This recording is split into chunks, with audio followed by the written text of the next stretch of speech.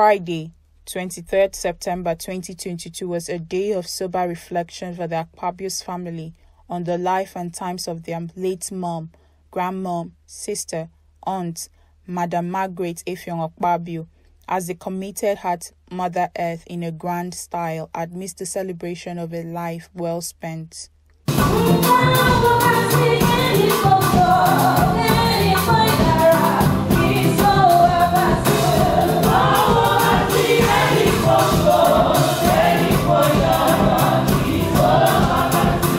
Bible reading was taken by the deceased daughter, Miss Marilyn Udeme Akpabio, from the Book of Solomon, chapter 3, verses 1 to 9c. The souls of the righteous are in the hands of God, and no torment will ever touch them. In the eyes of the foolish, they seem to have died, and their departure was thought to be an affliction and they are going from us to be the destruction, but they are at peace. The funeral mass was conducted by the Holy Rosary Autonomous Catholic, Ibiakwi Tam 72 Itu Road, Uyo.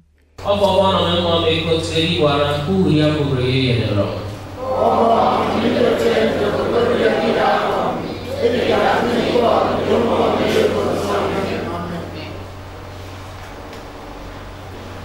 we humbly present to you these sacrificial offerings, O Lord, for the salvation of your servant Margaret Akpabio.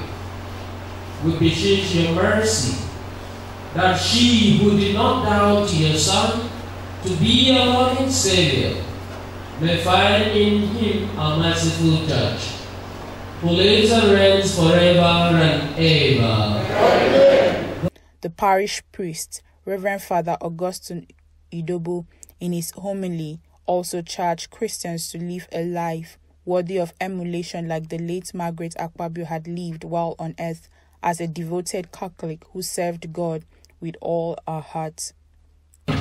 She was a devout Christian in word and in deed, serving God with all her heart and substance a devout Christian, a strong Catholic, serving God with words and deeds. The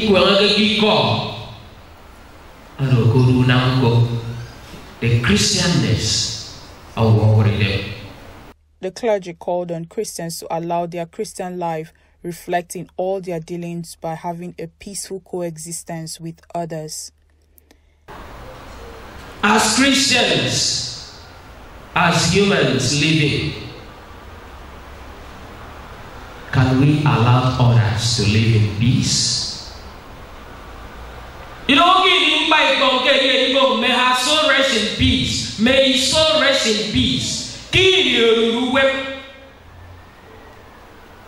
Can you proudly say, may he live in peace? Internment. Late Margaret Akpabio, who was finally laid to rest in her family compound, number 3 Ikondem Street, Uyo, was a sociable woman, a teacher per excellence, a kind-hearted, sociable and amicable person who was always ready to help those in need.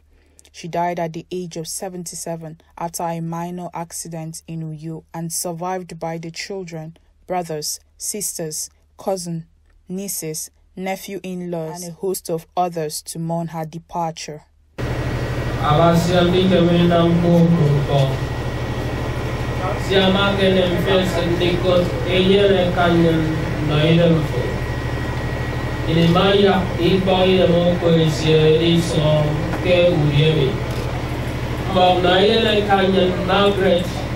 efi ọ̀nà pàbíọ̀ ṣe tí ó ẹgbẹ́ wọn fi ó ọba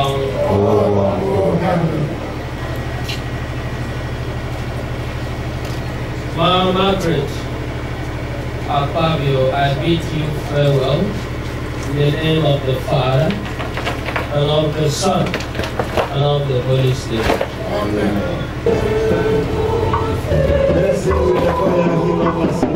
Amen.